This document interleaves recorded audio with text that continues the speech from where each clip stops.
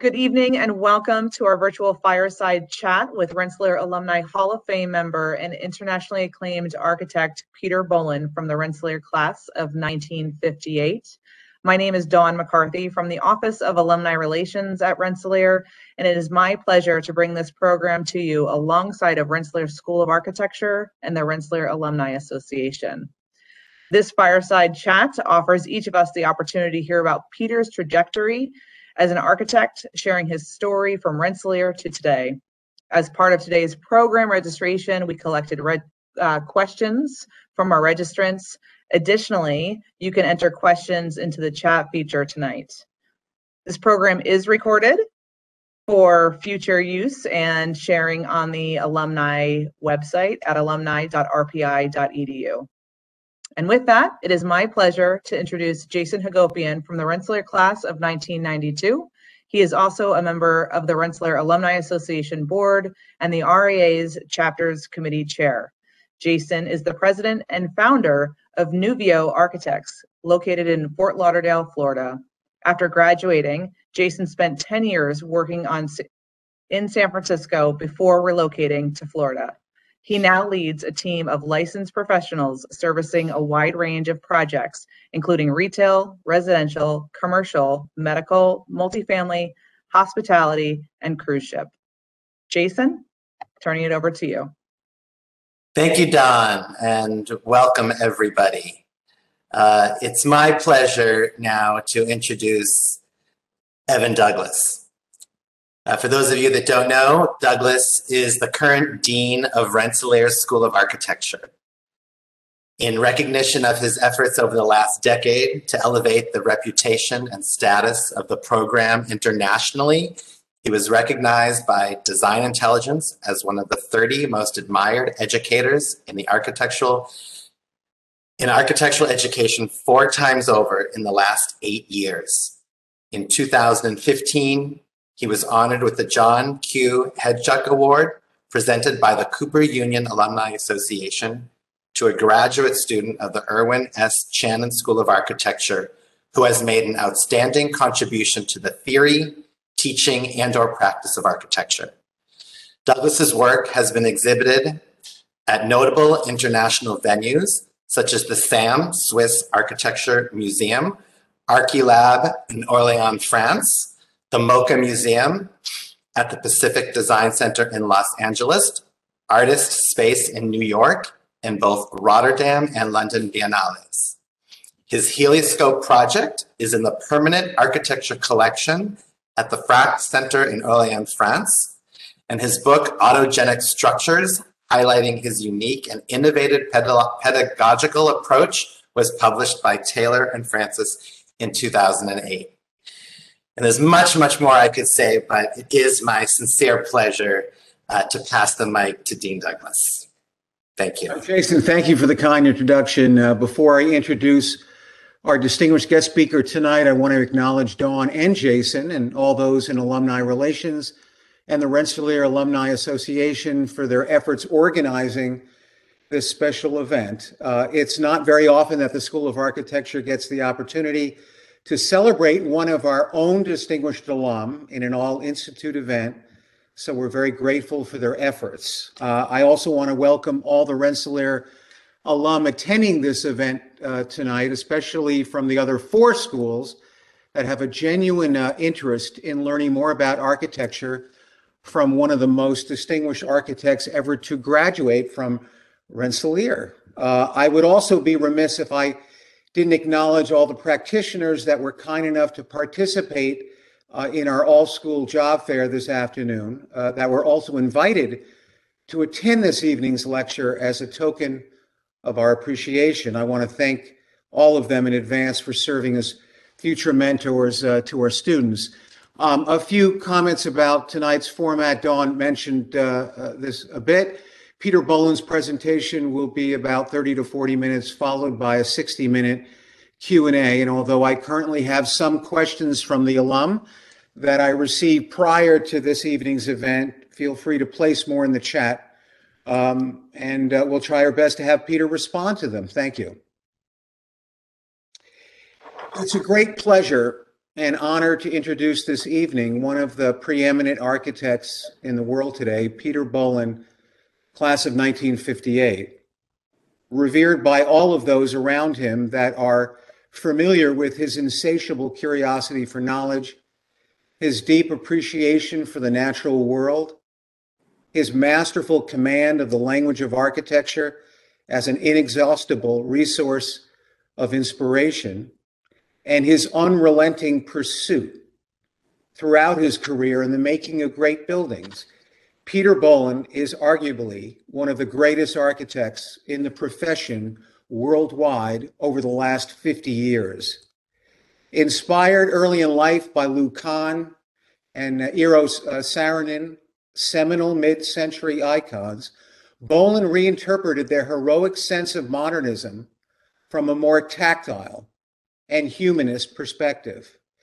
Throughout his career, he's elevated the status and importance of the climatological conditions of a site, the tectonics of architectural construction, a respect for local materials, a sense of place as a spiritual imperative, and overall the sensuous nature of buildings in favor of establishing an enduring conversation with their surrounding context. Calling attention to the extraordinary insight, rigor, and intelligence in the work, the architect James Timberlake was quoted as saying in his presentation to the American Institute of Architects 2010 Gold Medal Award Committee, the jury that selected Bohlin for its highest honor bestowed upon an individual practitioner annually by the AIA, and I quote, he makes great architecture for people. Peter moves from the log cabin to the glass box, from the initial conceptual sensibilities to the finely executed detail, from the abode to the civic center, with the same unassailable ethic. Peter Bohlin reconnects us to that sense of awe and wonder of architecture in the landscape. As far back as his time at Rensselaer and Cranbrook Academy of Art, where Bohlin received his B Arch and M Arch degrees, architecture has always preoccupied his imagination and served as a beautiful catalyst to propel him forward throughout his illustrious career. In 1965, Peter Bohlin and Richard Powell founded Bohlin Cywinski Jackson in northeastern Pennsylvania. Over the years, the practice expanded to include studios in Pittsburgh, Philadelphia, Seattle, San Francisco, and New York. With over 200 employees today, the firm's civic, university, corporate, and residential projects have received more than 750 regional, national, and international design awards, including three Committee on the Environment Top 10 Green Project Awards from the American Institute of Architects, AIA. In 1994, Bohlin Cywinski Jackson received the AIA Architecture Firm Award, the most prestigious honor bestowed upon an architectural practice by the American Institute of Architects. With his 2010 Gold Medal Award from the AIA, Bohlin joined the ranks of luminaries such as Thomas Jefferson, Frank Lloyd Wright, Le Corbusier, Lou Kahn, I. M. Pei, Frank Gehry, and Renzo Piano. The great American poet Ralph Waldo Emerson once said, A man is what he thinks about all day. Bohlin has dedicated his entire life to exploring architecture as a deeply creative, cultural, technological, and poetic pursuit.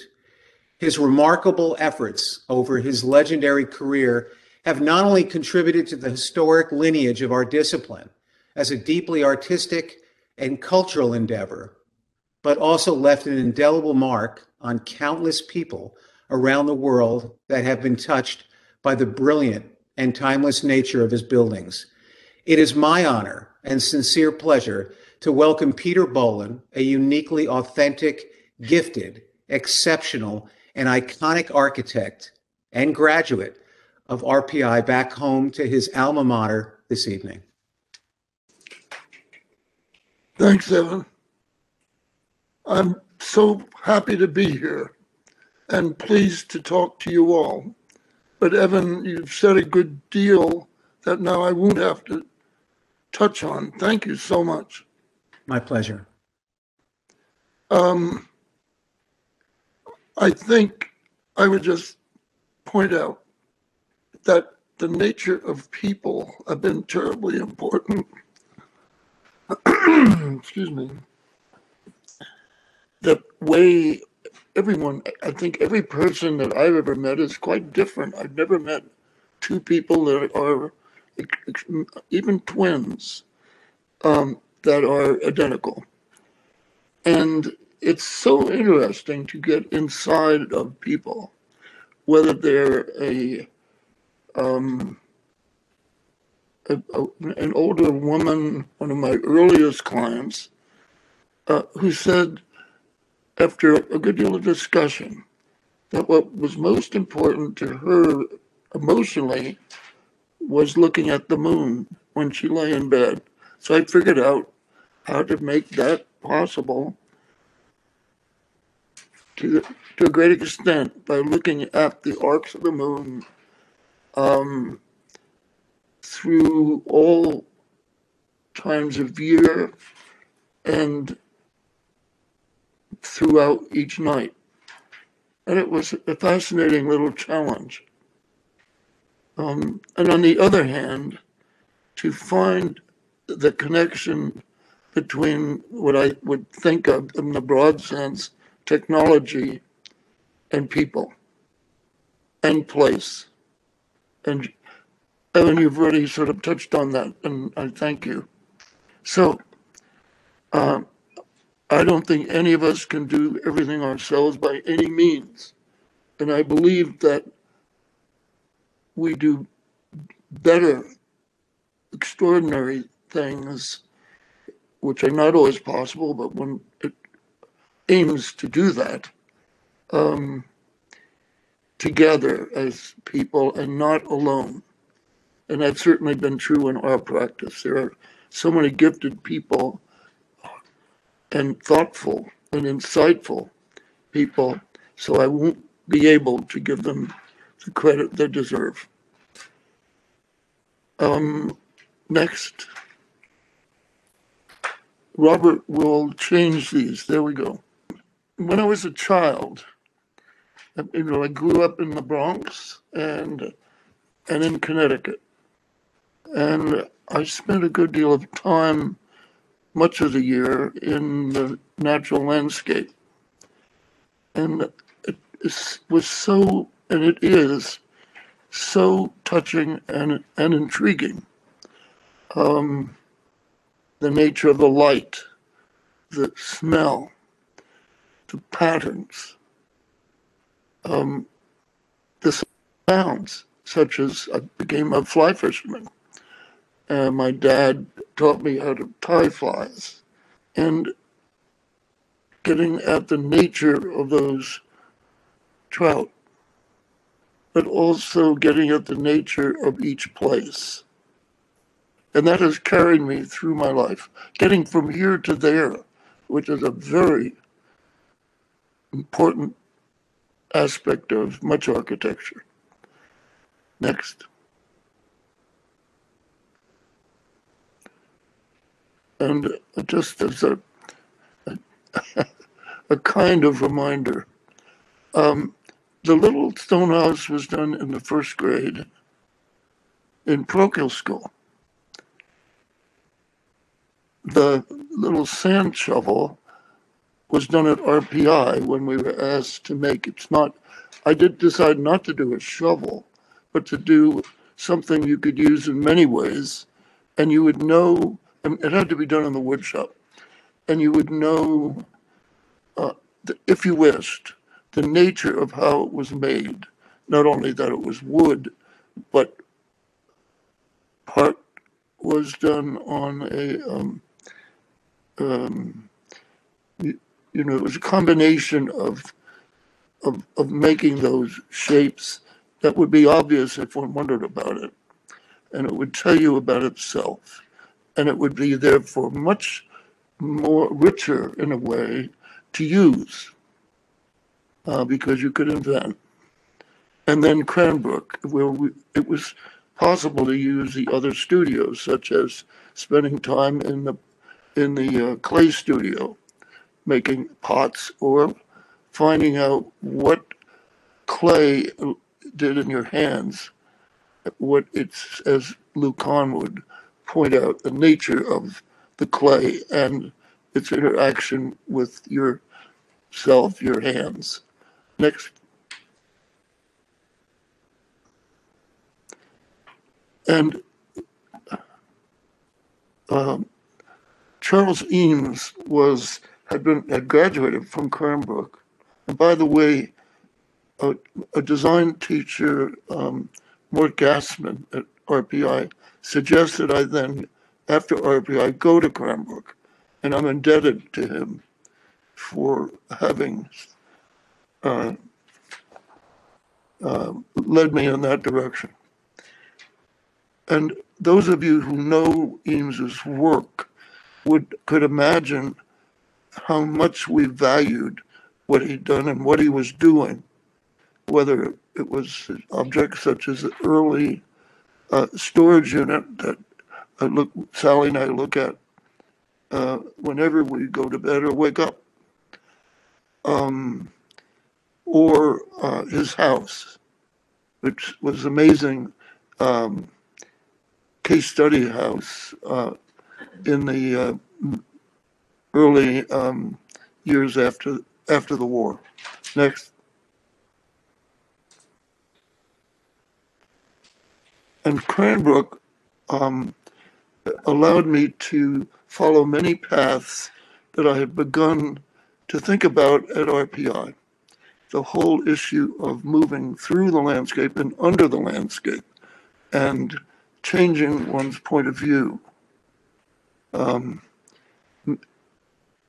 thinking of ways to both express how things work, but also to begin to look at how within those desires one could also um, make uh, forms that recognized where the sun was, um, how you move through the building, um, and so on. Next. I had started spelunking in uh, high school. We had a great cave on the property of uh, Salisbury School. And um, I think I was the only person, by the way, at the school who, at least in the beginning, had a Bronx accent, which is interesting. Um, and I was one of the youngest. But um, you can see the result of that in that little sketch that was about getting from here to there and not seeing the ocean until one entered that space down through those tunnels and forms that brought light from above and finally ended up in a room where that would acoustically work extraordinarily well by catching the sound of the surf below and uh, and and shaping that sound uh, within the cave-like structure.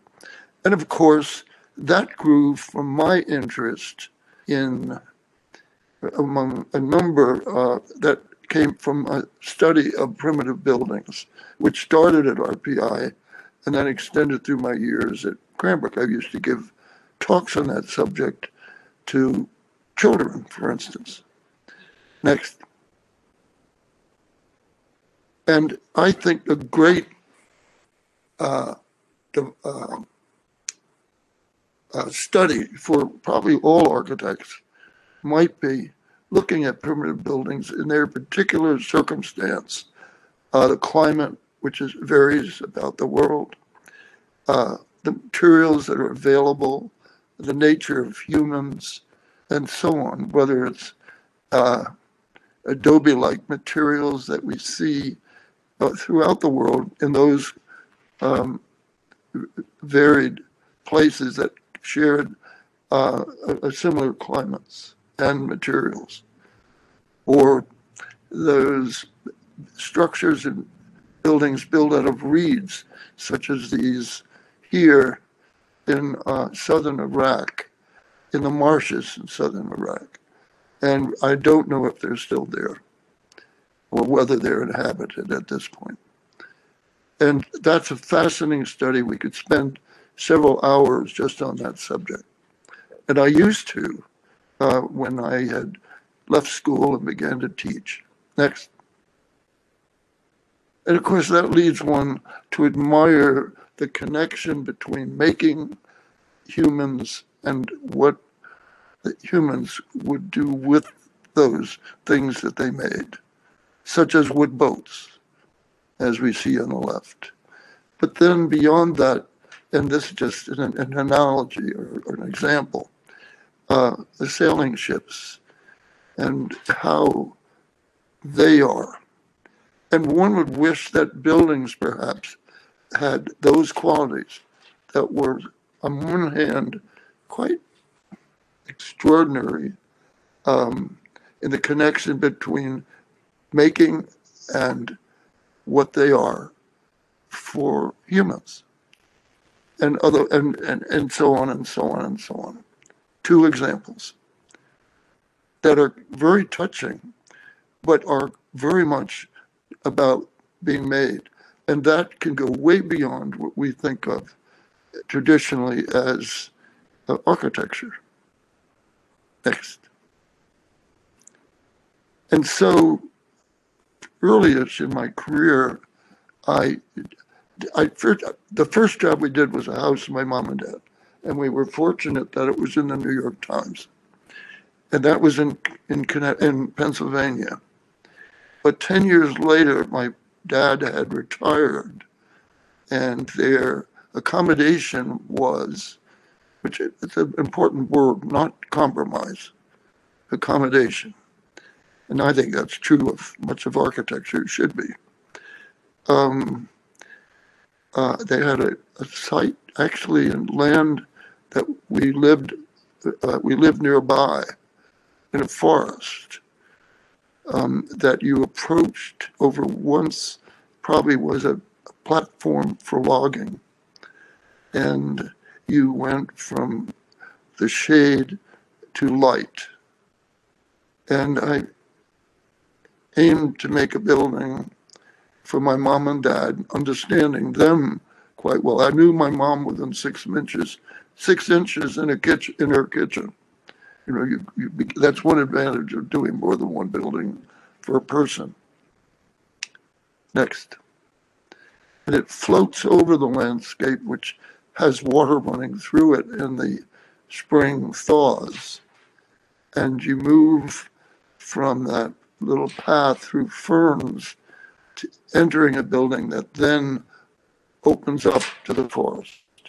It is contrary to the uh, a lot of things we were told in school, such as you face the sun, and so on and so on. And of course, I began to wonder things like why are Harry's Harry Seidler's buildings in Australia backwards? And of course, the reason is he's below uh, the equator. Sally's reminding me to move faster, which I will, and you must pardon that. Next.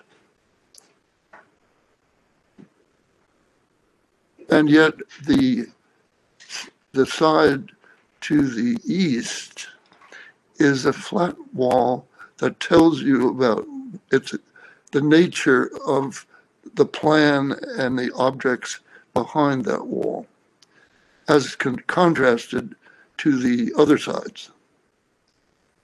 Next. And so I'm now going to move much faster through residences over the year, and I'm not, I had to pick some because otherwise this lecture would go much longer. Whether it's the, it's the, uh, the ledge house up above, we were hired in uh, for a site to look at a site in Maryland, it was near Camp David. Um, uh, and they wished to use materials that we would see in the Adirondacks. The lower two images are for Bill Gates and about halfway through the process for Melinda. And that's an underground garage on the right. And that was done teamed with Jimmy Cutler, who had worked in our office, had gone to Penn, and then um, moved to Seattle. And I felt, and we were both uh, among 25 firms uh, that uh, Gates and his team um, asked to compete, and we won. Next. So over the years, the buildings have have, ranged greatly, but often um, with uh, I think a great sense and and and and and in relation to the people. From that little house in Connecticut near Kent to this other house out in Utah on a ski area for a client who had had cancer. And she was told now she should swim every day thought we better make a place indoors that was extraordinary pleasure, pleasure for her. Next. Or this farm in Rhode Island uh, on the edge of the ocean uh, in um, um, you know a wonderful landscape and it's a historic farm and so we wrestled with and it was a competition. Um, but we didn't we said we wouldn't compete. And they they selected us. Um, um, with a house the older not the oldest house and an older house the small one on the lower left to a barn that was quite dilapidated uh, and we brought it all back and what a pleasure that was. Next. And we still work there. To hawaii where uh, on one hand we did a private gallery below uh, a volcano that's extinct and another and a house for another client about uh, 10 miles away along the edge of the ocean that has a garden on its roof. And we've done a also um, a um, another structure now but we haven't photographed it yet. Next. Or this house near bend oregon that is in a way a, a, had the kind of interest that were um, very much embedded in case study buildings. Um, it's quite it's a thoughtful and rather economical system that is lined up along the edge of a of an of a, one kind of forest facing several uh, extinct volcanoes and at the edge of what had once been lava. Next. To this house on the upper two slides in Michigan, on Lake Michigan, in the heavily forested dunes, to also a more recent um, foundation for the crafts and arts. Uh, which again, for a great client who we continue to work for. Next. To um, this little house for Nick Lehoux, who's an extraordinary photographer, one of our favorite. We traded services actually. And and this is at Point Roberts, which is a bit of Canada that drops below the line above uh, the San Juans. Um, and, and again, an extraordinary site built with very simple materials at a very tight budget. Next.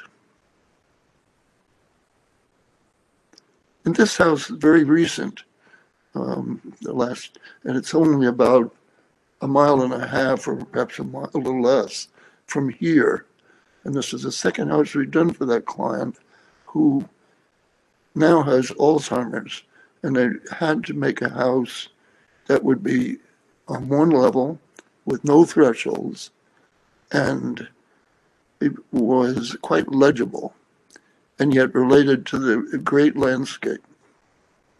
And that's been a great pleasure for all of us. Next. And where we are now, we're in that room at the lower left. Oh, sorry, lower right. And that those masses that you see behind me have one a study and the other a bathroom. So, and the, and the couch is really built in, it could be two beds for grandchildren. And it was once a little black church that had turned into a house, but a, a bit of a, not a totally satisfying house. So we tuned it. Next. And finally, um, this is uh, Creekside um, in uh, just in, in Woodside, California. And it's slipped in and then filled the landscape. So it's it's very dreamy as you see here. Next. And yet it's very close to the San Andreas Fault. I mean, I, I think some of these things will interest those of you who not only are architects but engineers of one sort or another. How we managed to make this so light and uh, graceful was that uh, next, you know, that roof is stabilized uh, uh, horizontally um, by the the the mass of that library and a kitchen, uh, which is elsewhere in that pavilion. And then, and we, it was such a pleasure, in this case, with a bigger budget. Um, we had started with very modest budgets. Um, to be able to get great crafts, craft, uh, to do this with great craft. And beyond that, to uh, take these masses and then arrange them loosely, which is something that many architects would interest many architects. Next. And it relates on that backside where the where the cantilever was to the forest of great oak trees and so on. Next. And inside, again, here, there you see the library, the back of, or the side of the library that stiffens that rather light structure. And we could take the vertical loads, but the horizontal loads are almost entirely taken up with those masses. Um, and we had started working for Steve Jobs doing Apple uh, and first Pixar, but then Apple. And so we were working with great engineers such as James O'Callaghan, who's a Brit, but now in New York as well, and figured out how we could do that projection for the children uh, without uh, having any structure in the glass. So it's a, a glass, half a glass, or a third of a glass cube, in effect. Next. And there you can see the plan. Those are calm elements. And then they've been pushed and pulled a bit to uh, fit into the landscape and to make a much more powerful experience walking through. And that um, on the right, that is uh, the pavilion you see at the very top of that little plan. And um, and it looks into the forest. But that desk is by Chareau. In this house, with our client, we were able to do much more, we much more advent, uh, adventures um, working often with modernist historic modernist furniture, most of which were modern antiques. And that's a Chareau, who, as you know, did um, Maison de Verre in Paris. Um, I don't know if any of you could guess what's on the left wall, but that's donated or given by one of our other clients whom I've done a few things. And that is an, the only astronaut underwear out of captivity that I know of. You know, with little tubes to heat and cool and so on. Next. And I thought you'd appreciate uh, the level of detail on this building. And we've begun to get quite serious, and I wish I'd done it much earlier in my life.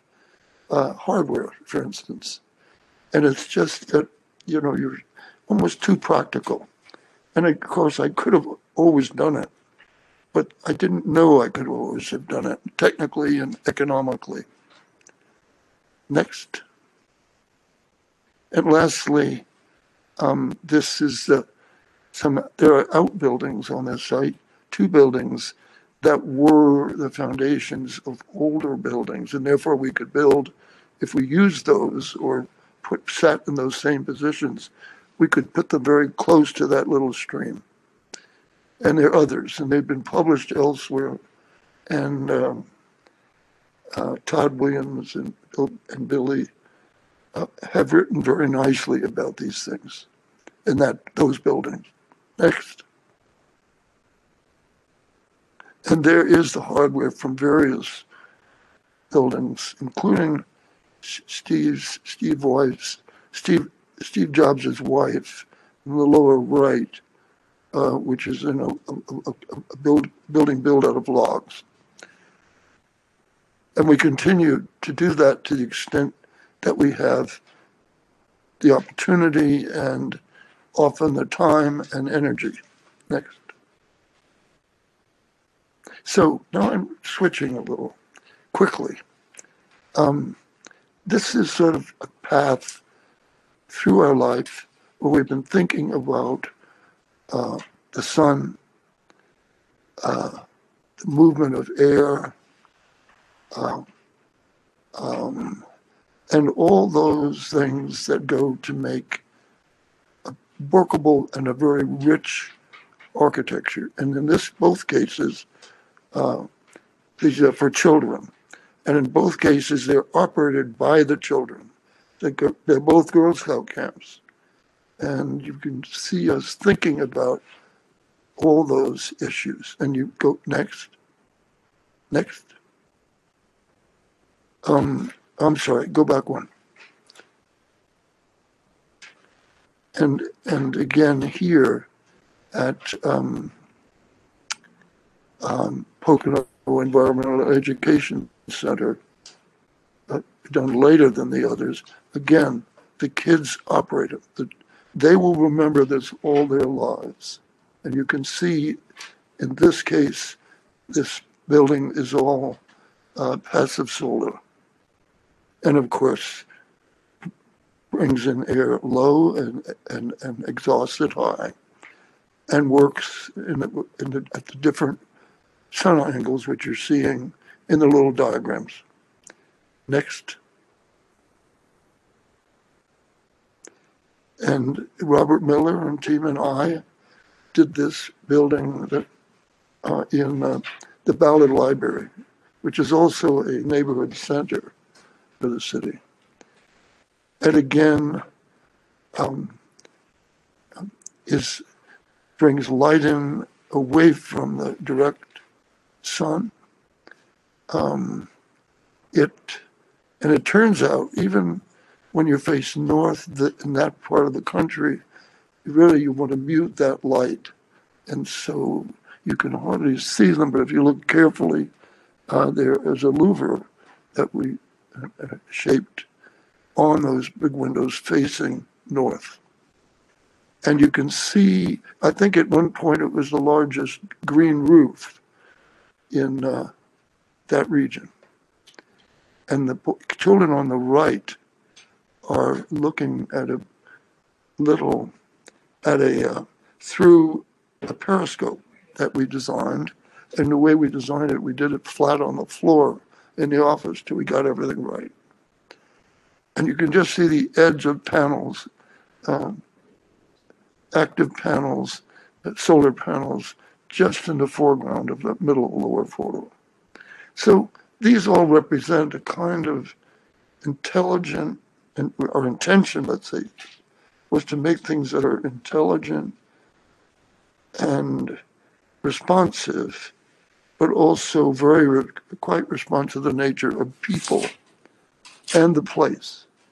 This being Ballard, which is very close to where boats are and sailing boats and so on.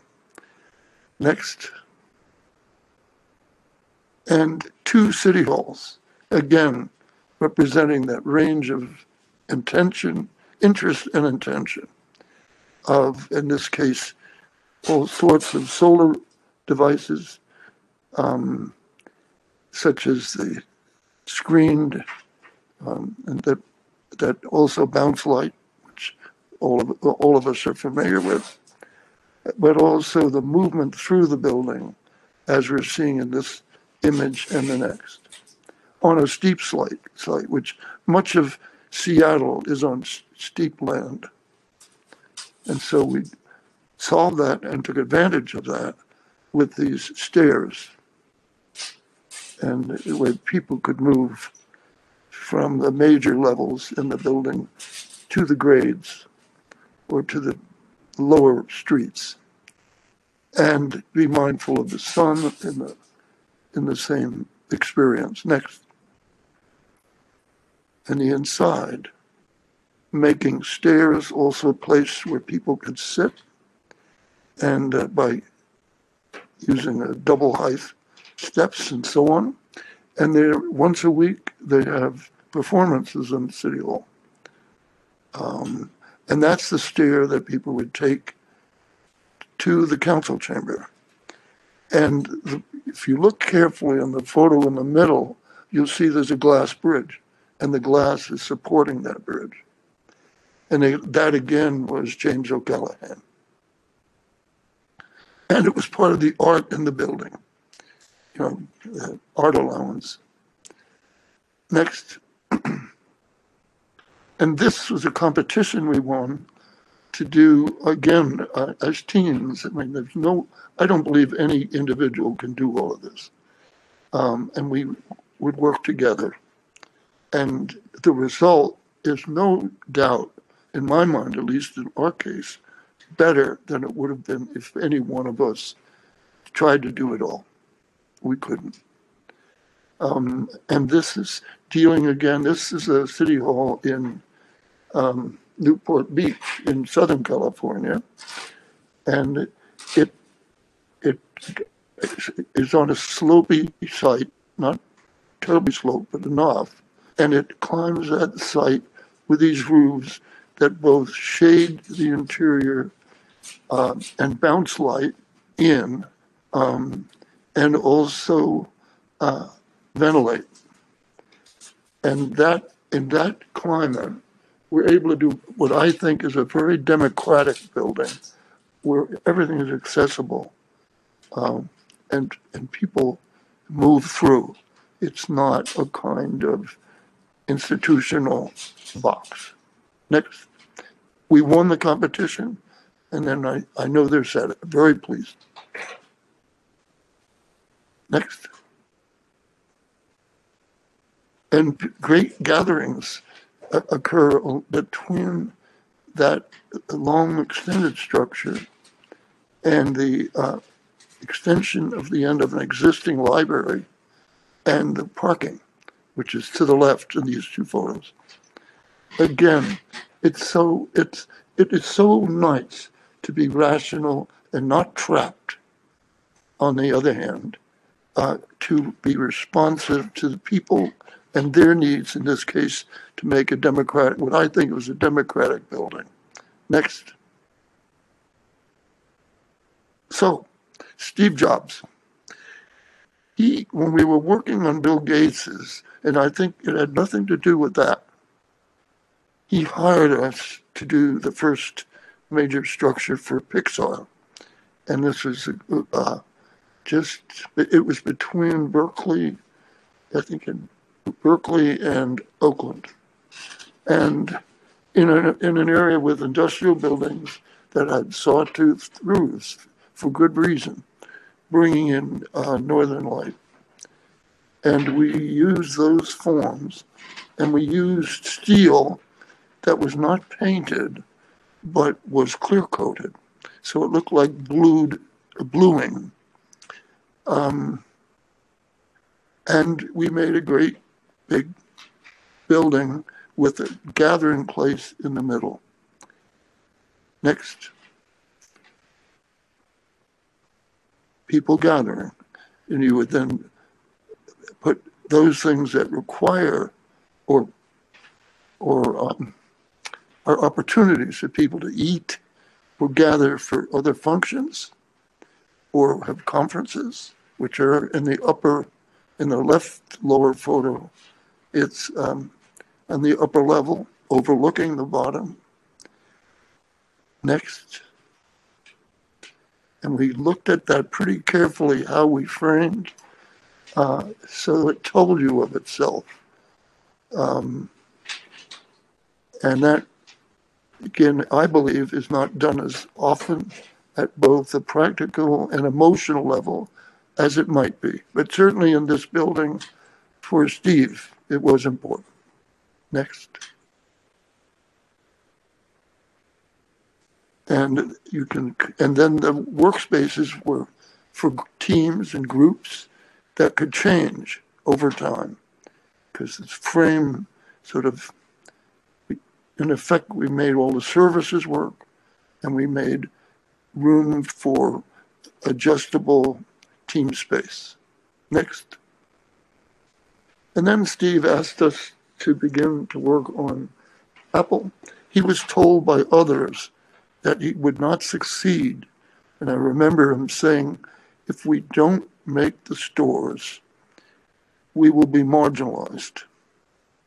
And so we set out not to let Apple be marginalized. And um, probably the most notable of our early structures, um, and by then we'd gotten through the more, um, some of the more obvious things that um, you, most people were doing for retail, but quickly got to structures such as the one on Fifth Avenue. And next. And we also thought about how to make these special things. And with great consultants and teams of ours and others, boy, that worked intensely, very tiring actually, but ex- ex- exhausting.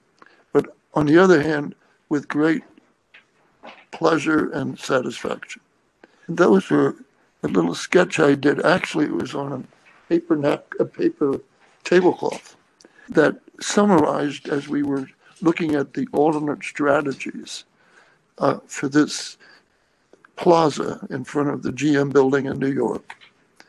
And on it, you will, if you could, you, if you could see this large enough, you could spot the beginnings of our scheme. Next. Oh, and can you go back for one moment? The reason everyone was a little casual, but I had to wear that or wore that because I was due that afternoon to go up to RPI. Uh, and it was when the school so wonderfully for certainly me, um, gave me a doctorate. And I mentioned this to uh, Harry Macklowe, who then owned the GM building, and he said, I said, a free, I'm getting a free degree. He said, Peter, nothing is free. So, next. That's why I had a tie on. Um, But you can imagine thinking about how people move.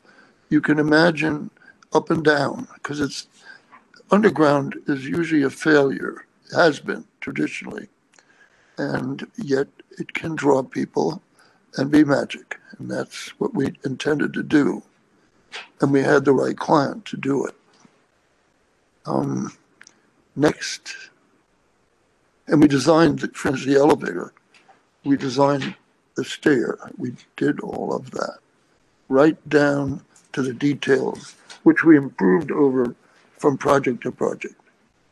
Next. I, I, I couldn't, I can't, couldn't show more in any reasonable amount of time, except to hint at, I think we did about some more straightforward, but any intriguing, uh, about 250 of these.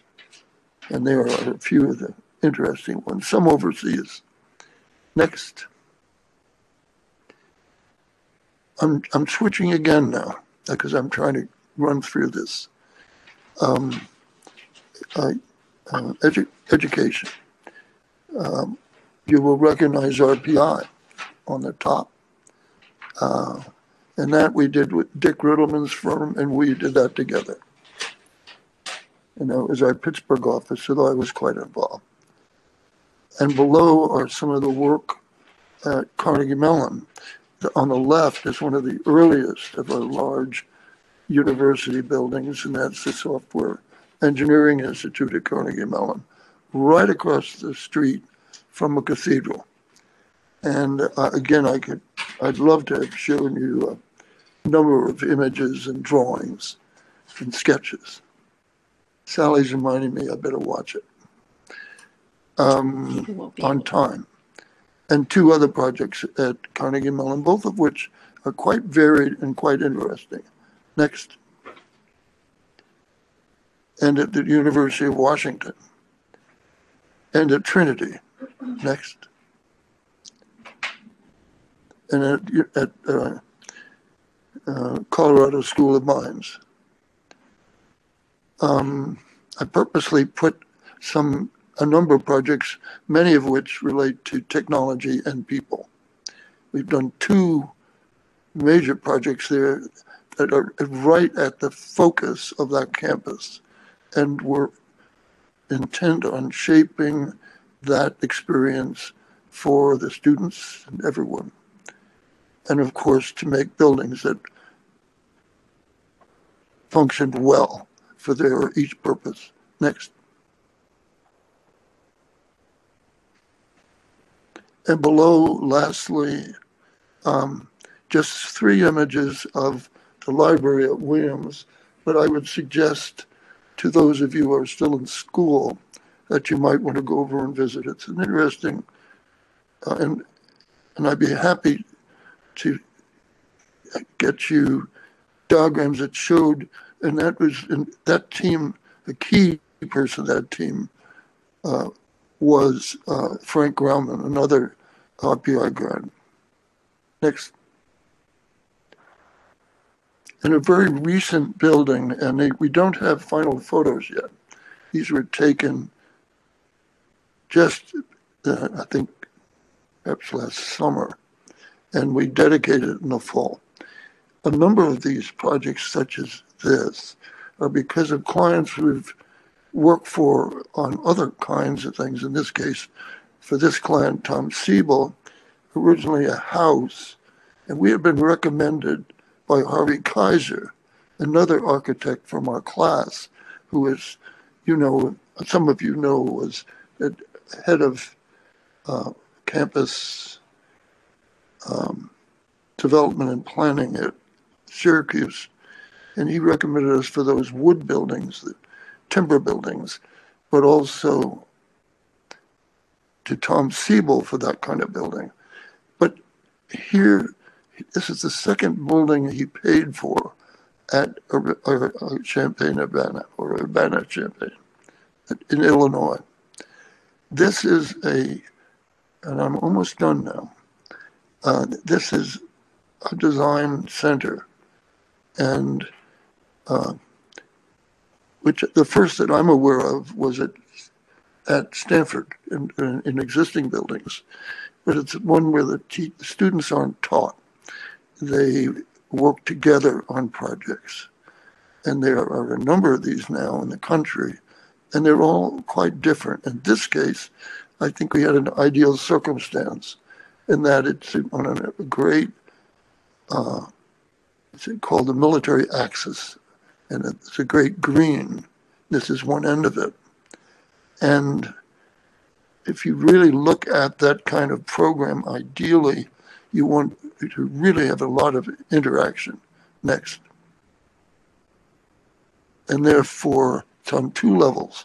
One just about three feet above grade, and the other below.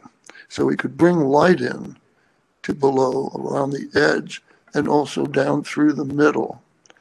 And two levels works well so that you have no stairs uh, without having a ramp. You work with ramps, and you will have a stair or two, but there are always ramps for the handicapped. And that opens up the in, inner parts of the building, which I think will continue to transform itself over the next years as the students produce more and more um, design for various needs uh, in this building. Next. And lastly, as far as building types, tall buildings, just showing one. And um, just very much involved with Robert Miller, and I loved working on this with the team. And um, it's two towers connected by commercial uh, uh, office and office space. Next. Um, in the Northwest. And I think the diagrams are of interest. Uh, you, you find it's a concrete frame, and we had a tight budget.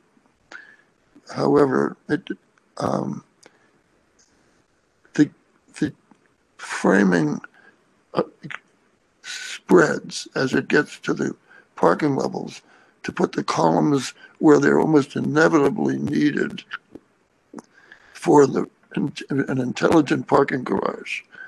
And above, they've shifted, and there's sort of limits to how, to what extent you can do this technically and make it work uh, uh, to frame the uh, offices, oh, the, the uh, um, apartments above with a simple core in the middle of each of those uh, towers for stairs and elevators and circulation.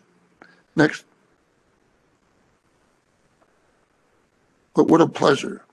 We've done additional work for this client, and we've done a tower in Hawaii, and we're working on others. Next. Lastly, this is at Falling Water. We had done a, a, a renovation invasion and addition to a barn at Falling Water.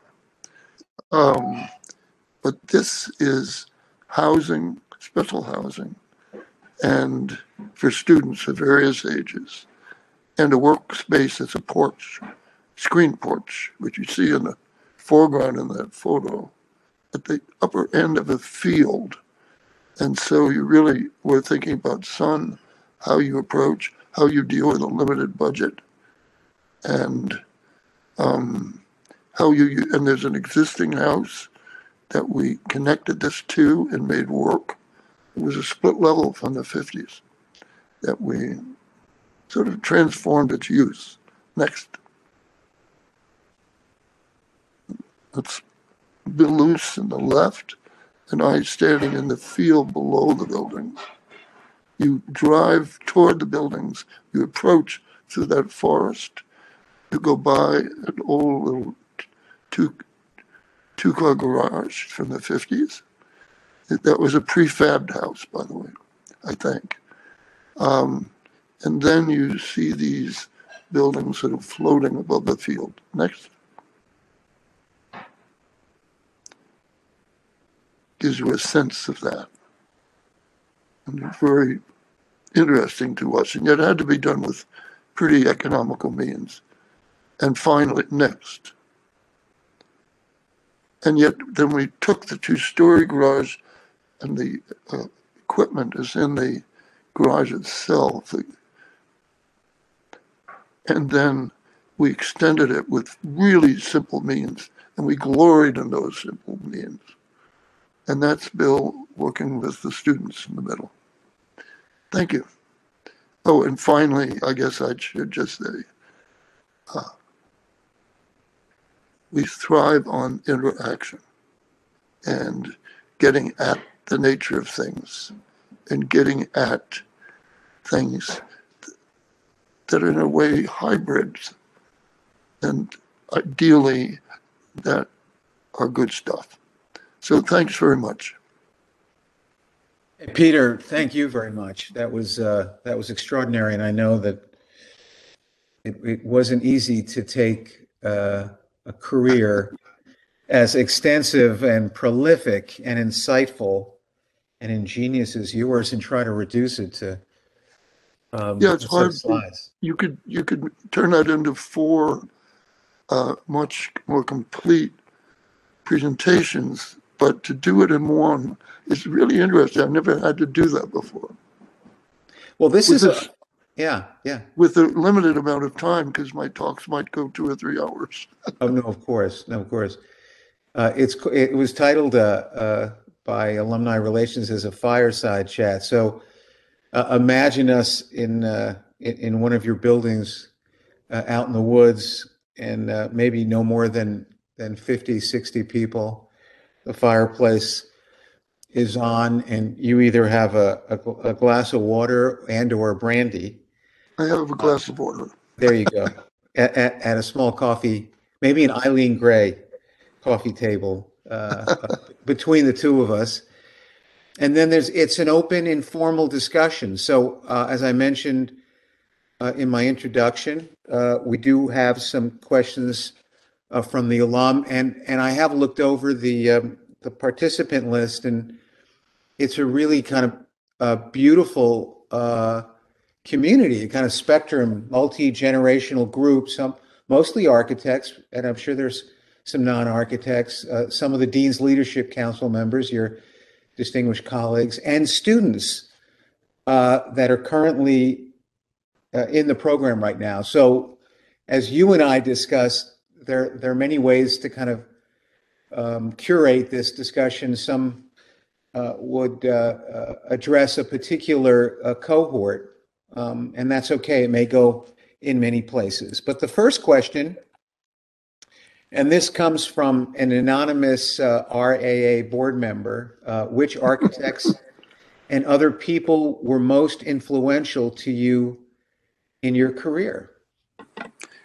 Well, there there are several ways of thinking about people. Uh, one is, um, but I don't think you're asking this particular question. Um, Mort Gassman did an extraordinary thing for me when he saw that with the grounding I had at RPI, which was invaluable. I mean, you can see the aspects of that in much of the work where I was trying to always, we were trying or intending to make things that would work, you know, and that weren't total BS. and yet to make them rich and powerful and expressive of how they're made and what the climate is, what each place is, uh, how groups of people interact as opposed to individuals and so on. And so that mix of RPI and Cranbrook was to me extra- extraordinary. So who? Well, first I would say that my first very best teacher was Gerhard Kallmann in the first job I had while at RPI. And he went on, as you know, to to uh, Boston City Hall and a number of other very good buildings. But at the time, he was teaching at Princeton and at Columbia. And he took such, he had such a powerful influence on me from the point of view of wondering what was the right thing. and getting at that. Um, as far as, and of course, there were people like Eames who had gone to Cranbrook and came back. He was he and Eero were very good friends, Mhm. and so they'd work together often. And he'd always spend time in the studio.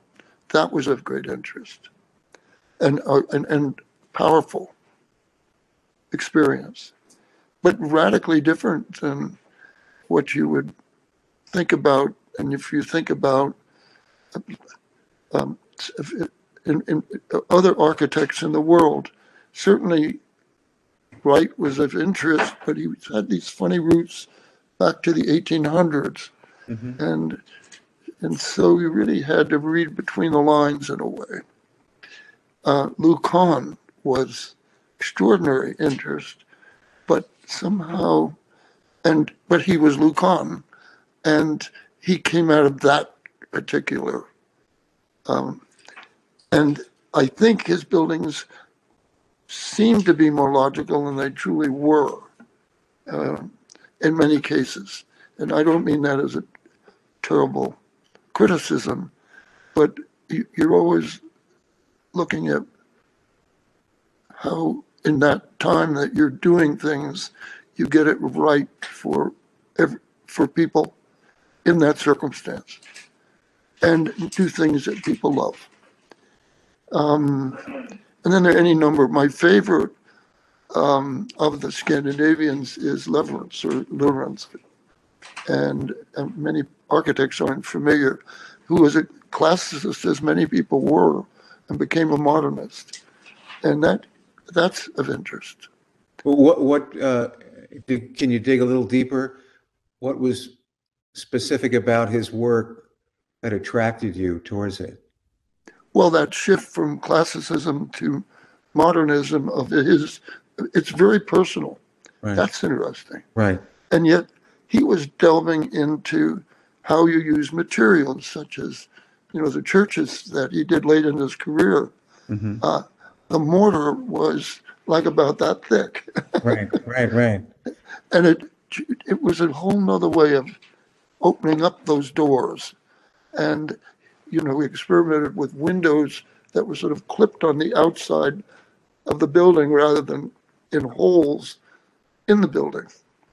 And, and do it, and of course you had to do it without it leaking, which we, we did once or twice, and of course they usually leak a little eventually, maybe not right away. But then there are other ways of solving it where you're still getting at that kind of a issue.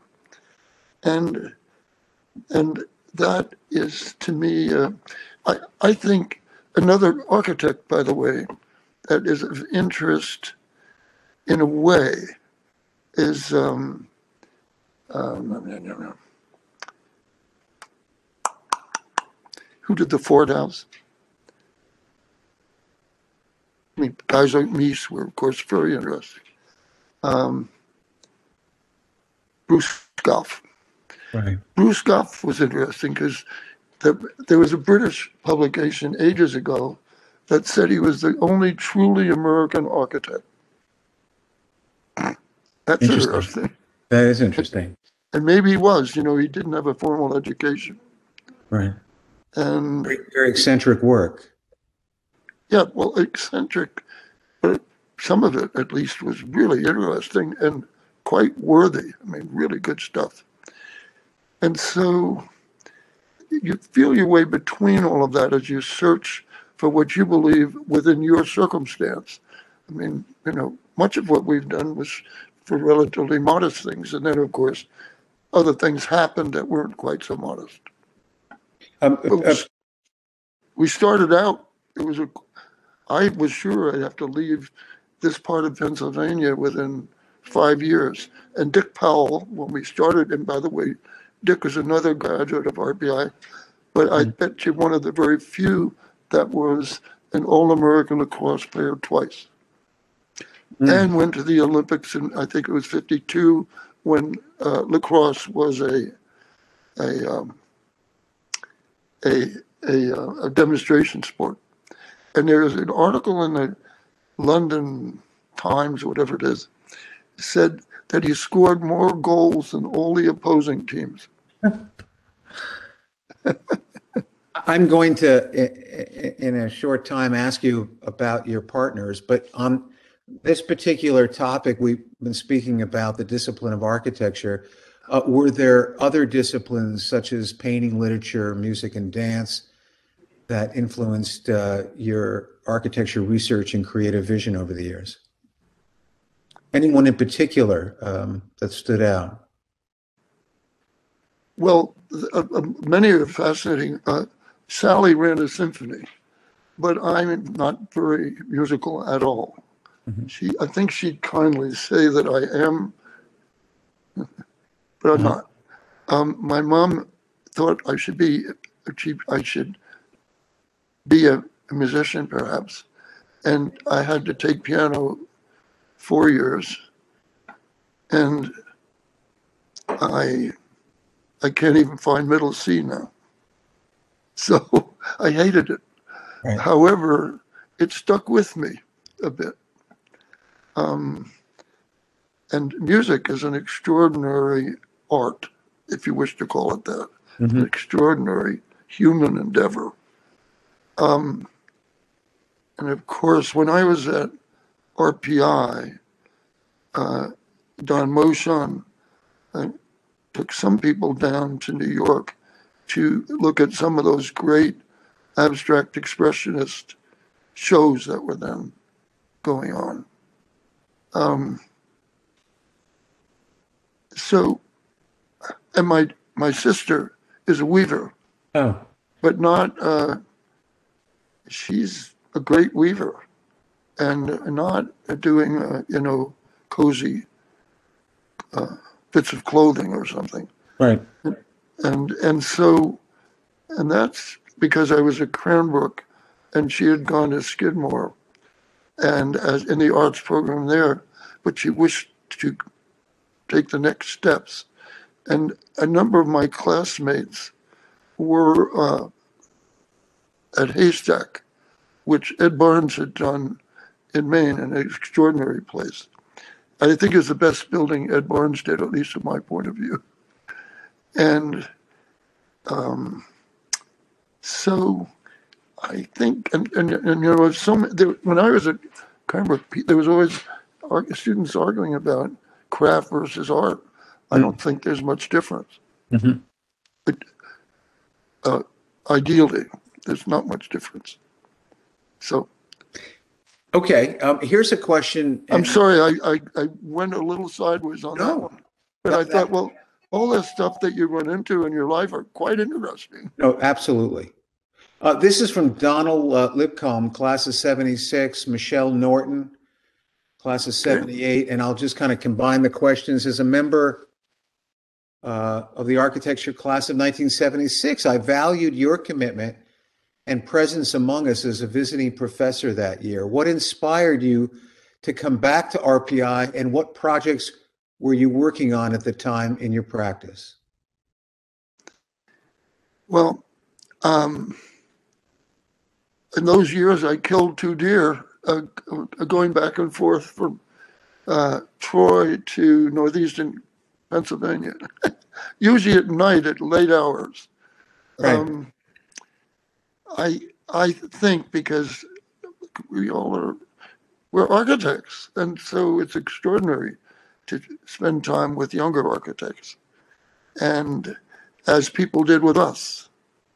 You know, there were people that we all learned and and and and, and I just used Gary Kel- Gerhard Kallmann as the great biggest example. But I remember uh, teachers at school who were really interesting. Uh, one that I remember clearly was Bob Winnie, because he had done a house that was really a sort of interesting thing where he would shape bits that most architects wouldn't think about. And I've done that during my life to some extent. And done it differently, but Right. at least been motivated by that. Um, you said what was I doing then? And what years were those? Well, I may have been working on my mom and dad's house. The second one. 76. Yeah. 1976. Well, and that was a legendary project for you. Um, Yes. Yeah, it may be in some ways, the interesting thing is about that, I think that Bill Gates put us on the list because of that house. Now, that probably was an architectural advisor he had. But you know that, remember that uh, Goldberger put that on the cover of the housing magazine in, for the New York Times. Um, and now he's working on this bio. Um, but uh, and there were other things we were doing, and like the, we had just done that first Girl Scout camp. Right, right. Um, here, here's, this is a, a, a question, comment from, uh, Michael Oatman, who, who teaches in the School of Architecture. Uh, he's a tenured faculty member, uh, senior faculty member, in fact. Hi, Peter. Beautiful lecture, life work. Wondering what specific lessons you've taken forward into your large-scale, non-residential work from the first house you designed for your parents. Also, what were the revelations from your first build projects that you didn't anticipate as a student making drawings and models in the classroom? Thank you. Two questions. How did the uh, residential, early residential work uh, influence your large scale non residential work? Well, they all have to do with human beings, Mhm. uh, whether groups or individuals, or at least they should be.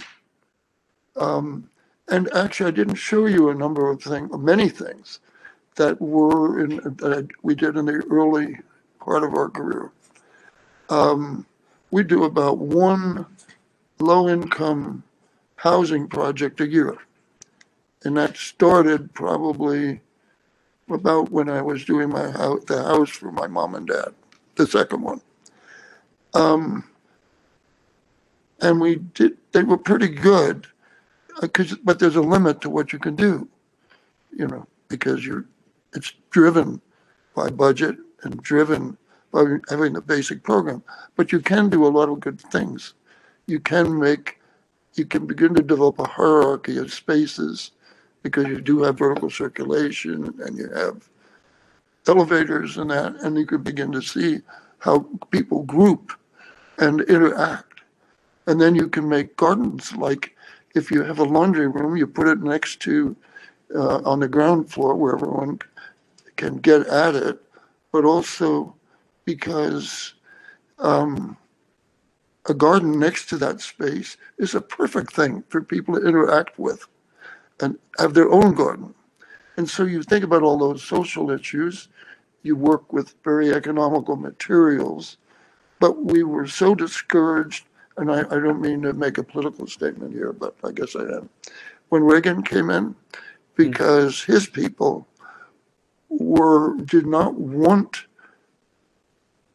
um, um, public housing and and, and, and that kind of, um, you know, government supported housing, uh, to be like market housing.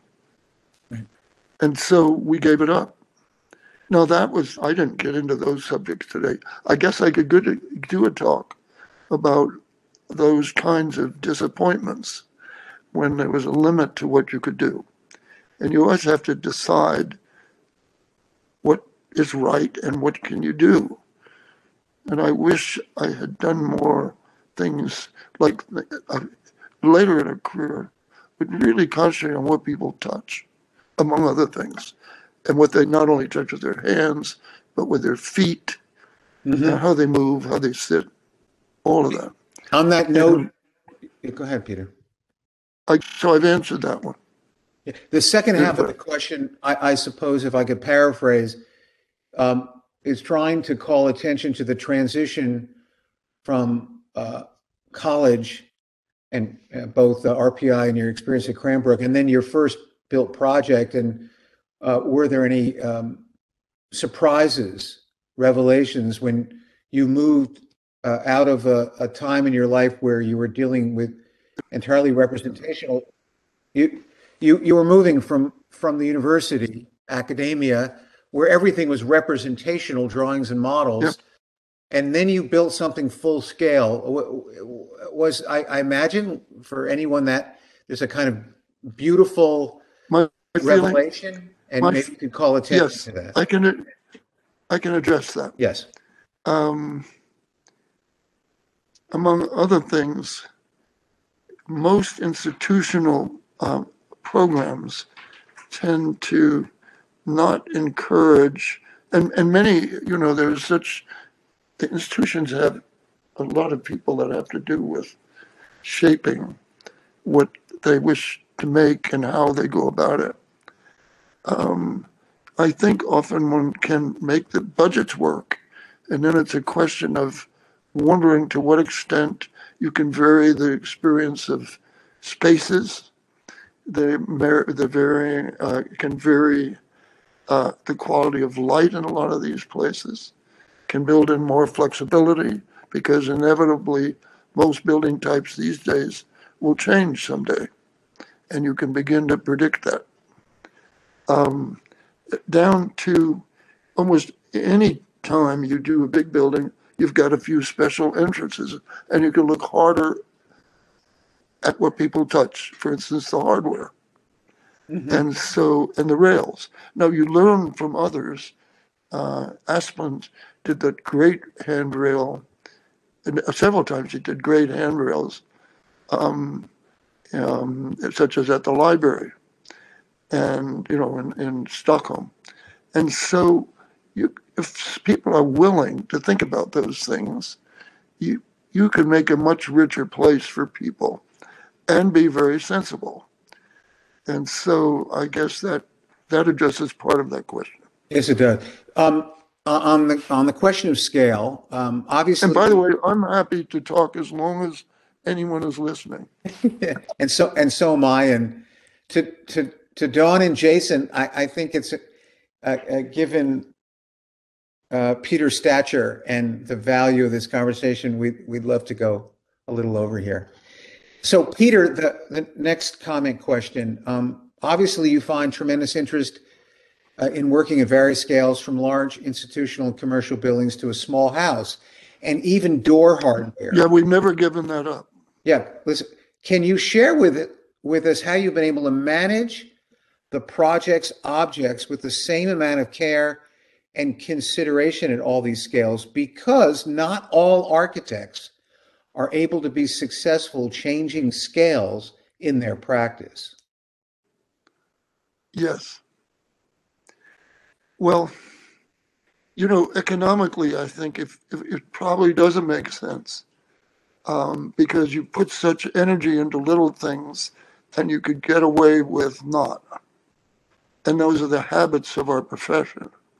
And I'm not saying that's wrong, but I certainly didn't start with that in desire and intention. And we pulled it off. But I know as, as our practice continues into the future, that will be a constant question and challenge. And I, I think, uh, and actually, modernism has given much of that up. And even when it's rather creative, only at the large. Okay. So Peter, you were, you were talking, you said you weren't sure that you've been successful with the scale, but you know, it was interesting that your slide presentation, you showed a disproportionate number of houses, even though I know you have as, you have hundreds and hundreds more large scale buildings, but I'm assuming the houses, And hundreds of houses. the houses um, serve as a kind of conceptual core manifesto of some of your interests and that they're very legible and accessible and in some cases uh, very elemental. And more and more easily uh, refined in in ways that it's hard to do on often on larger buildings. However, Um, I do think that the motive, one's intentions or desires are similar, can be, because we, it would be ideal in our culture now. I mean, if you look back 50 years, 100 years, or maybe more, we then had more detail in our larger buildings. And uh, because, and you know, that they, they leaned on that often, uh, looking at, um, it, uh, uh, many elements coming out of the past, out of history, or the, and modernism gave the, a lot of that away, and I understand why.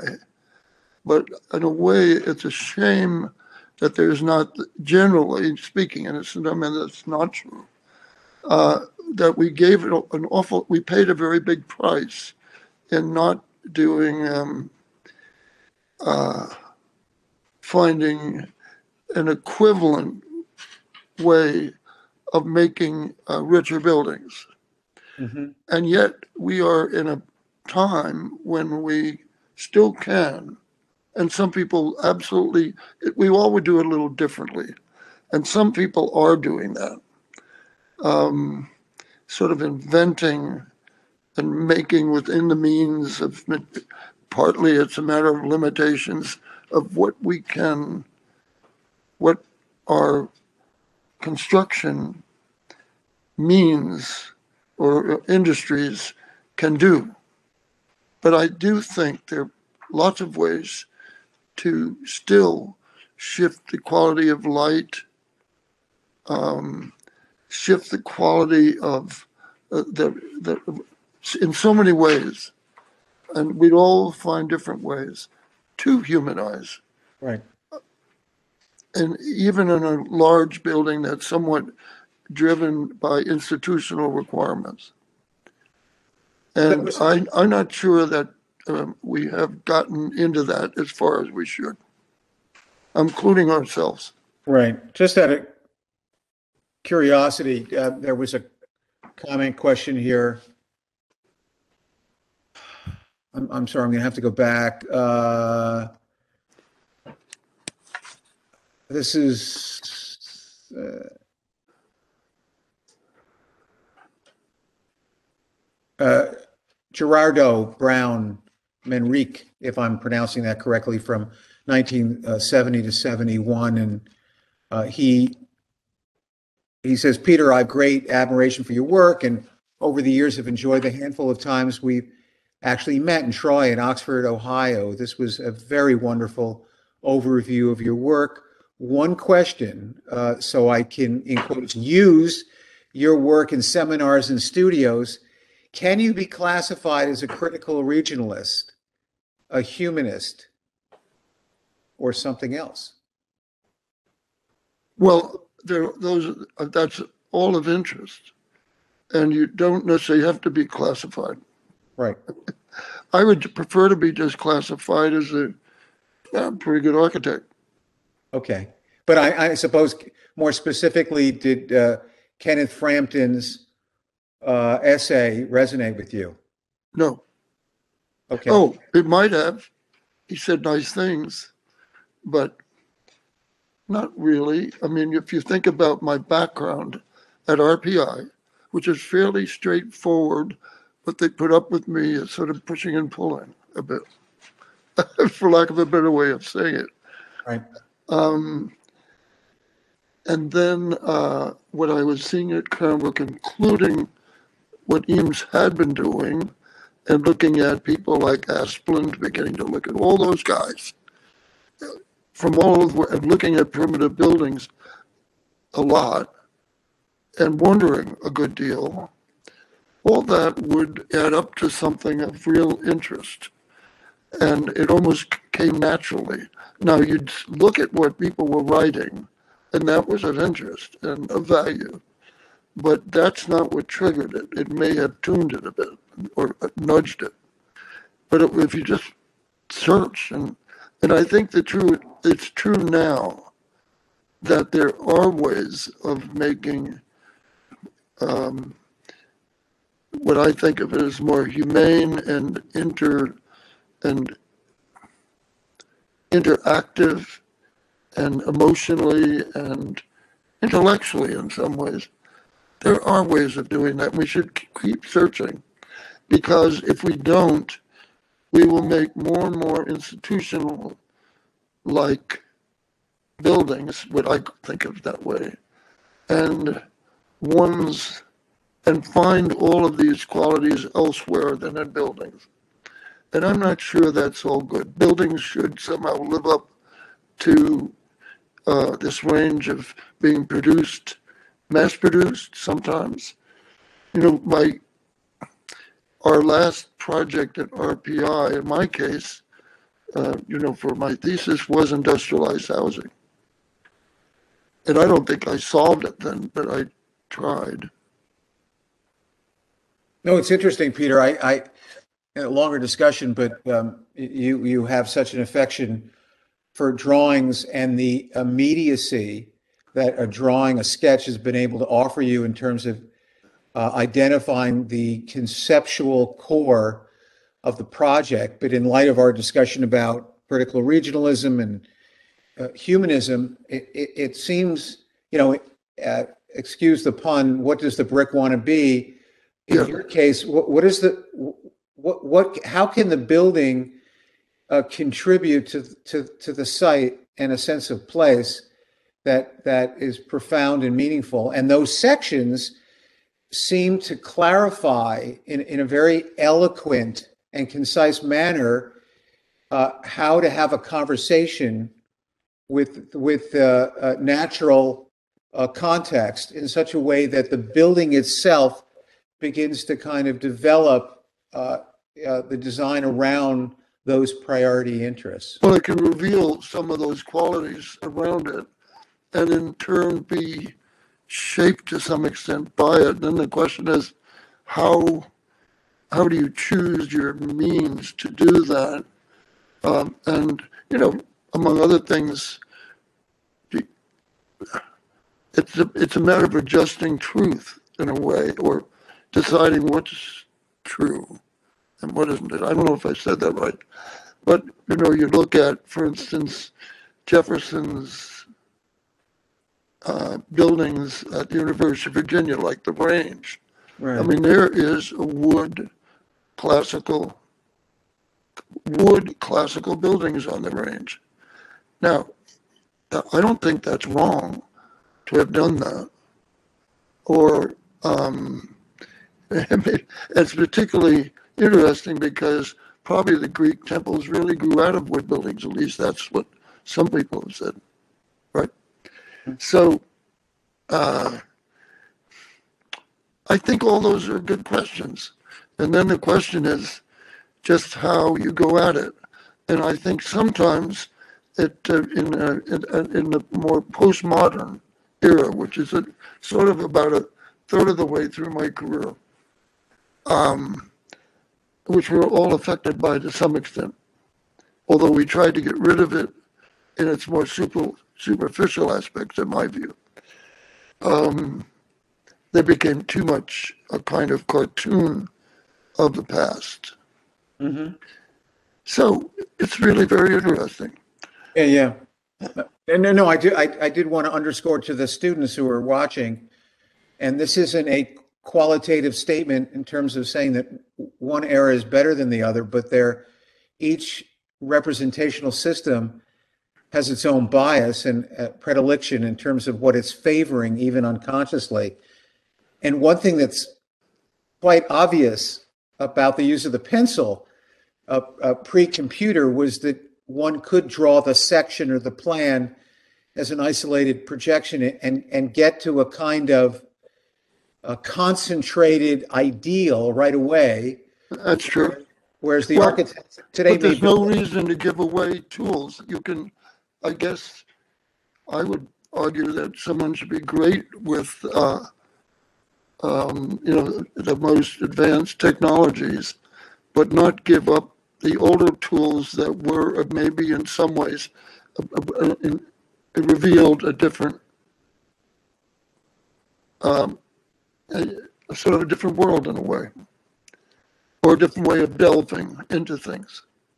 Yeah, I mean, I, what I suppose my comment observation was about isolating certain projections within a building to identify the main concept and at the proper time decide to go back to the 3D model. Um, Yeah. And many students today lose sight of that. And I, I think your, your sketch sections are remarkably important because they Yeah. identify, again, I'm repeating myself, but They, they identify the potent aspects. environmental issues, you know, the cloud, the sun, the angle Yes. of the sun path, the whole thing.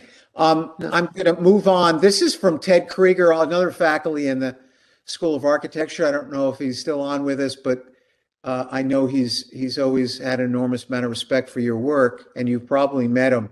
He's been teaching I at the think I did, yes. many years. Uh, I'm currently teaching design development. This is the comprehensive design in our School of Architecture in room 305. We have an interesting ceiling. Is there a story that you could tell us about that? You mean at RPI? Yeah. Well, we were all a little inebriated and uh, toward the end of the year. And we got up and stacked our, our, we stacked up our desks so we could paint with our hands on the ceiling. And we weren't that inebriated, but we were willful. And is that still there? I think it may Oh, be. is. It's it's it's the only surface that that uh, the dean is not allowed to touch. There's there's no adaptive reuse on that ceiling. Let me tell you, it, it's it's uh, it's part of the I- archival legacy of the Greene Building, Peter. Yeah, but it, and it was a number of us that did it. Yeah. Uh, so it, to to all those students who even are thinking about this, uh, uh, uh, tofu, uh, uh, coffee, something healthy is okay. But more importantly, is is I I think that it's it's fantastic to think of a surface inside the Greene building which is, becomes a drawing board, and that you've left this fantastic inscription. And, and No, you've, you've been kind enough to leave it there and wise enough. oh, I'm not touching it. It's it's it's too important. No, but I meant everyone, you know, over the years. Absolutely. From from, from uh, Patrick Quinn, Yes, David Haviland. It keeps going. yes. many of the Yeah. architects. Yeah. Uh, here's a question for you. Oh. Changes in the profession. How has the profession changed since you launched your firm back in the 60s? And what stands out today as an exciting paradigm shift for you? And just three uh, references integrated design, interdis- interdisciplinary collaboration, emphasis on sustainability today, uh, and or new technology, 3D printing, robotics? Is there something that you you've you found that that is radically different at this moment in history that's changing our profession that you want to call attention to? Well, in a way, our tools have changed in that the computer's become omnipresent and a great tool. And then you just have to be, as we've said, a bit alive to the, what you, what the, the uh, penalty of new tools is giving up all aspects of old tools that may have had extraordinary uh, um, value. And uh, we would all say pencils are one of those. Um, but I think um,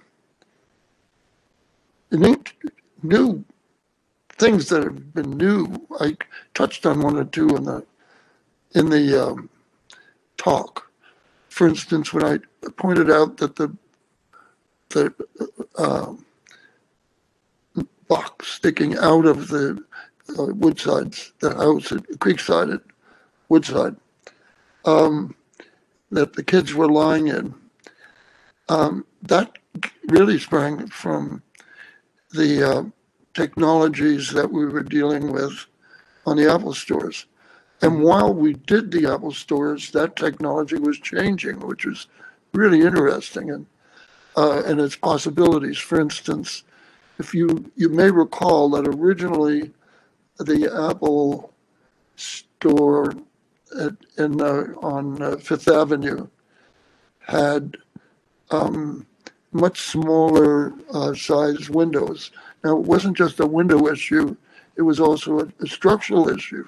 Mhm. And eventually, within, I guess, five or six years, no more than that, I believe, someone in my office could probably help my memory in that case. Um, we could make the structure, which was glass, well, it was a combo of glass and plastic and uh, good connections.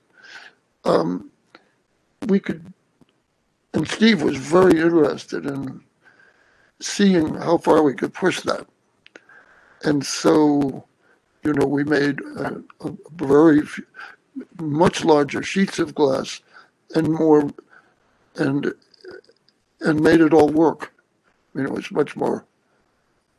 And so there is the technology changing. What a wonder to be doing something just at that moment. And Apple supported, and we were having to get almost all of that, as I recall, think out of Europe. But we were beginning to do some buildings in China, for instance. And I, I, as I recall, Apple really supported uh, the Chinese developing those capabilities, which we used in the Apple stores. And, and on that note, Peter, that, that's, that's a kind of beautiful example, taking glass and, and, and uh, doing a kind of deep search in terms of finding a kind of latent intelligence. Did, um, on one hand, and you tell us how I'm reading this, on one hand, Apple is attempting to brand themselves. So the fact that the stores More than attempting, they did. yeah, yeah. From from from an iconographic standpoint, being self-similar around the world uh, represents an advantage. On the other hand, is it fair to say that either at every store, every once in a while, they said, "Can you do something different with the glass this time around?" Well, we did. No, they didn't, but we did. You did. Sure. Um, we did, but we tried not to, for instance, once we'd done the cube, we did not, um, and I, Apple never pushed us to do another cube that I can recall. Uh, but we did in, um, in China, and we were dealing in there with a circumstance where there are a number of um, circular elements in that part of the city, we made a, a, a cylindrical apple, Oh, not the whole apple, but the part that rose up from the uh, paving. And it echoes the other circular elements there. And there were any number of those. And after we did the cube, we then did a number of ones that were more like marketplaces, like Upper Upper West Side. hmm It's a market. That was the first one. And I took those out of the lecture because I, I knew I was going to have difficulty with time. And therefore, they show up if you looked at those little images. But there are any number of different apples, often, sometimes in an industrial environment, sometimes in a historic right. environment. You know, we did one at the Louvre. And we did another in a bank in Paris. Steve was very much motivated by symmetry. Mm. And of course, most things, uh, including human beings, are not symmetrical. We're not, right? If you look at our guts, they're not symmetrical. and it's very interesting. Some parts are symmetrical and they're very useful, like our eyes, the position of our eyes. And then other things aren't. And of course, in many other things, like automobiles, they are symmetrical to a point and they're not, right? And so it's really interesting to delve into all of that. And on Apple, we were able to delve into many of those.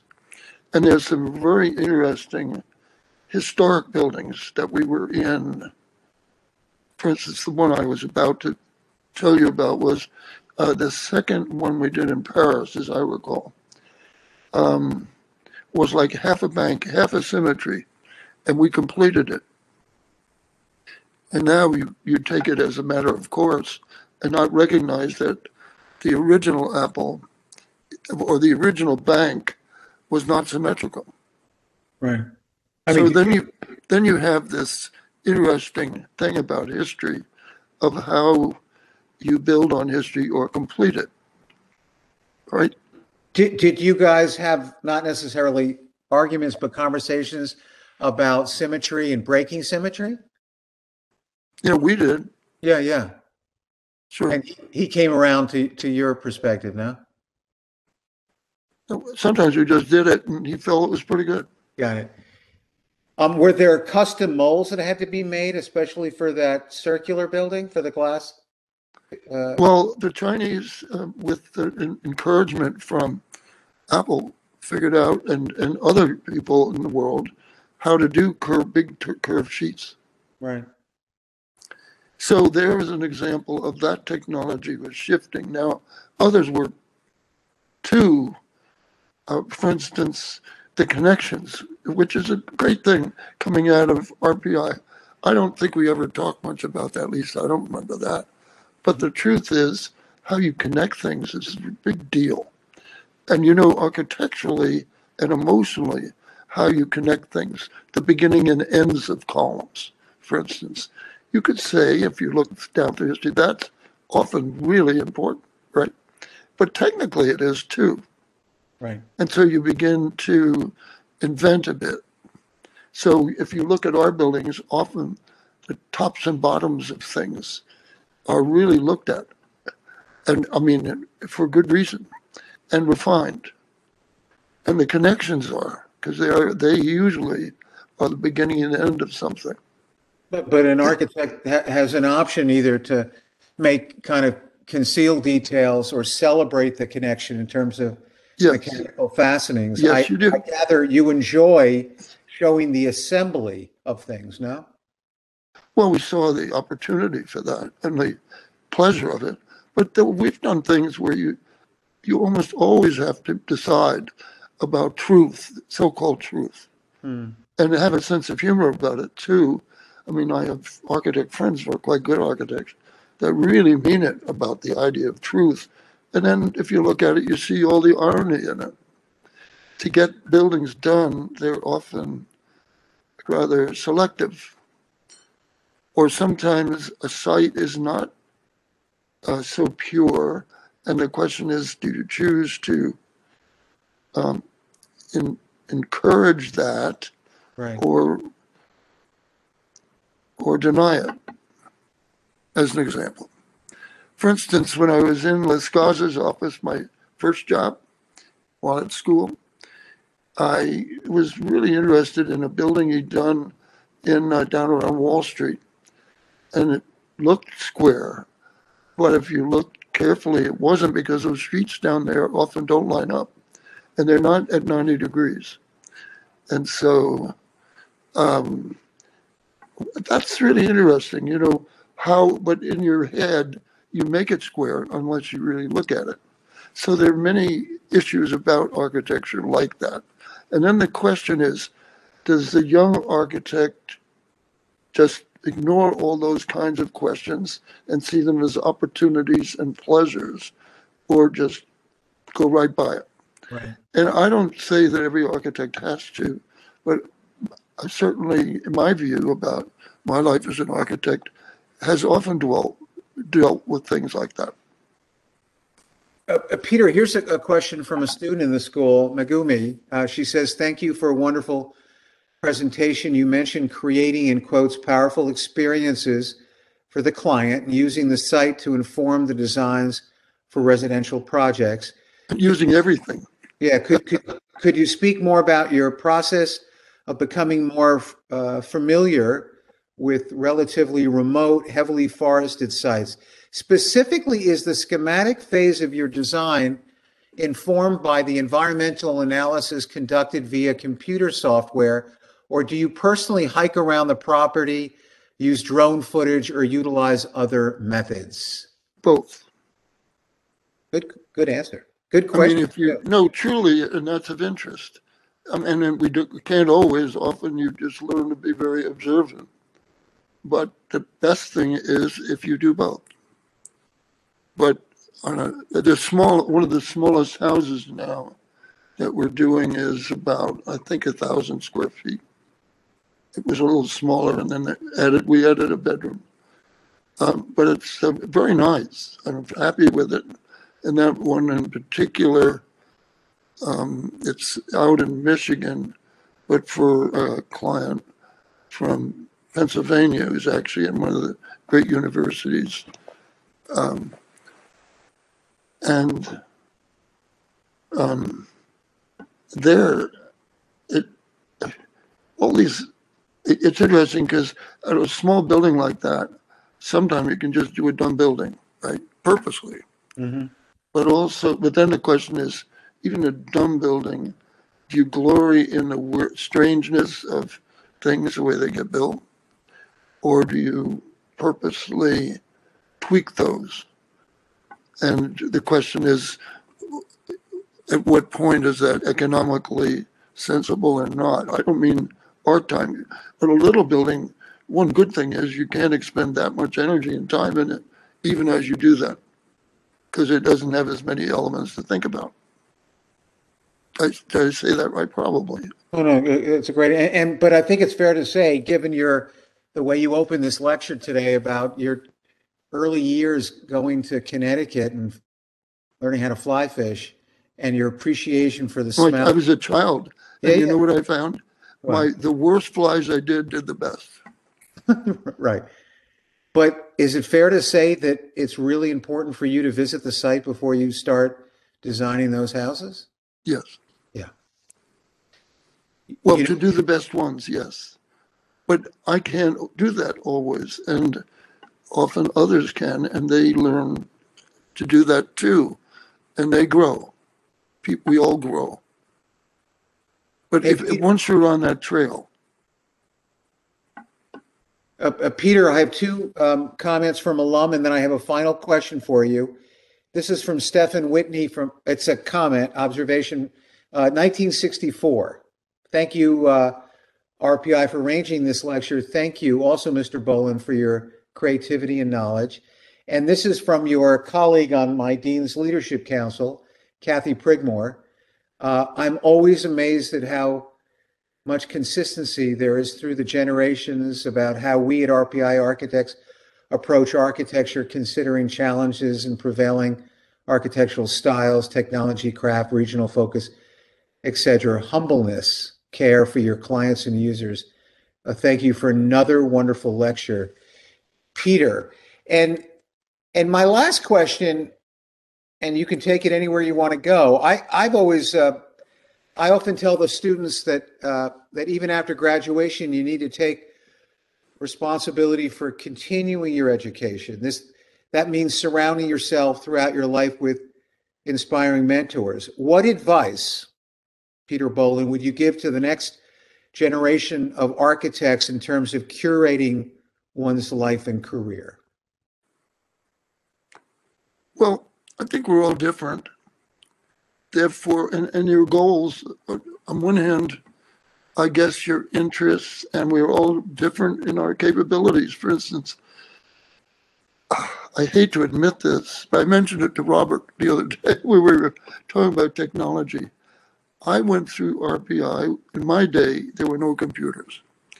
I went through RPI without learning to use a slide rule, which is really dumb if you think about it. But somehow I figured out how to deal with that. so, um, you know, thinking about young architects, I- think now it's, I think I was lucky to be able to follow my path enough in that search and to be allowed to do it. But I'm afraid more and more in an academic world, people may be less liable to put up with that. But I'm not sure that's true because it depends a lot on, I guess, people. And um, so looking ahead, I don't think you can always predict where you're going to learn or gain the most. Uh, for instance, how could I have predicted that Gerhard Kallmann would be in Lescaze's office? What I, I remember Lescaz did the first international style skyscraper in the world in Philadelphia before going to New York. And the only thing I remember him saying to me was, Don't bother me, I'm a busy man. Right. So, how do you pick where you go? Well, it turned out I learned so much from something I wouldn't have predicted. I didn't know what I was getting into or get out of it something of great value, which really messed me up at RPI. I thought for about at least half a semester or a semester because I was trying then to do too much. I mean, I was trying to think about all these at once. I've been sort of triggered to do that. Well, eventually you do, you you find you can do it, and you know, and uh, so how could I have predicted that? But Peter, you made a, on, on this note, you, you made a huge decision and one that had cascading consequences in the most profound way. You chose to go in to collaboration, right, with John Jackson and Bernard. Well, first, uh, first with Dick Powell, Right. And he was like my dad, yeah. And and I think that's how we survived those early years, because there was this balance between um, the two of us, and um, uh, but on the other hand, I believe that much of my life I've been a little too reasonable. But on the other hand, what does that mean? Right. Yeah. But if, if, if Sally will excuse the, the phrase, it, uh, it was a bit like a marriage with, with your partners and, and there was, uh, there was a kind of common respect and, and, and synchronicity between all, all of Yes. you, right? Yes. And, but, and getting back to your point about, let's say, John Jackson and Frank and others, um, that, um, to some extent, I think was because of the multiple offices, which in some ways could have been totally foolish, but actually, I don't think it was because it meant we weren't a totem pole, that we were a modified totem pole. And and John was in Pittsburgh. Frank started in Wilkes-Barre and then went to uh, Philly. Um, and and there are a number of other examples of that within the practice. Not always people from RPI, but the same way of finding their way, and that has its uh, disadvantages too, because they're going to have their own way to do things, and one may not be as thrilled. Right. So how do you get the right balance? And I don't think we ever do, but it was worth it. I don't regret that at all. Well, the, the work speaks for itself, Peter. Um, it's almost nine o'clock. I want to, I want to thank you on, on behalf of, uh, Rensselaer Polytechnic Institute, your, your alma mater, the School of Architecture, uh, all the alum that, uh, were with us tonight.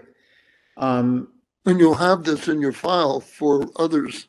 oh, yeah, I mean, And, and I know there are other people that I know who would like to see it, who weren't able to see it tonight. Absolutely. I mean, I, I, I think I said it all in the intro. You're, you're, you're a school of thought. You, you've obviously fell in love with architecture early on and it loved you back. I, I fell in love with it the first week I was at RPI. Yeah. And, and you've, you've spent your entire life uh, moving your creative imagination into the world, uh, into the built environment in, in the service of others. And I can't think of a more profound and noble endeavor and gift to society. Uh, and we congratulate you. We're proud of you. And, and uh, uh, we're, we're grateful for everything that you've done for the profession and, and for, And I'm not done yet. and I know you're not done yet. Sort of. I'm And- 80, I was 85 uh, three days ago. Happy birthday. And I hope to see you, Peter, in person. I hope uh, EMPAC opens up in the fall and I'm able to bring you on campus and I'd and like have the that. students meet you in person. Uh, I thank you for your, for your time today. Big hugs. There's a round of applause from, from everyone that's, that uh, is, is out of sight. You can, you can see it in the chat box. They love you and they respect you. Thank you, Peter. No, and a great pleasure for me, truly.